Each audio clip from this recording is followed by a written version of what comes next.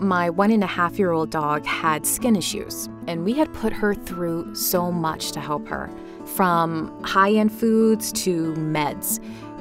Nothing worked. But I saw an ad for TruDog and figured, why not? And then within less than two days, her skin was a million times better.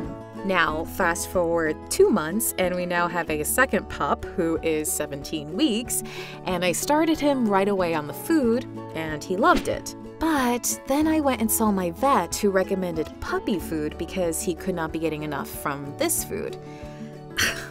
New mom worries set in. I did my homework and tried to get a bag of the best puppy food I could.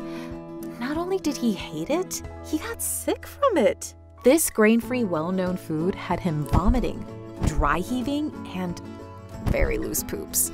He wouldn't even touch the food, and he was far too thin. So I put him back onto TruDog. He has been happy, putting healthy weight on, and his poop is solid. No more sick baby in my home. I'm never going back to kibble for my babies again. Thank you, TruDog, for an amazing food option. My babies are worth any dollar amount to keep them happy and healthy.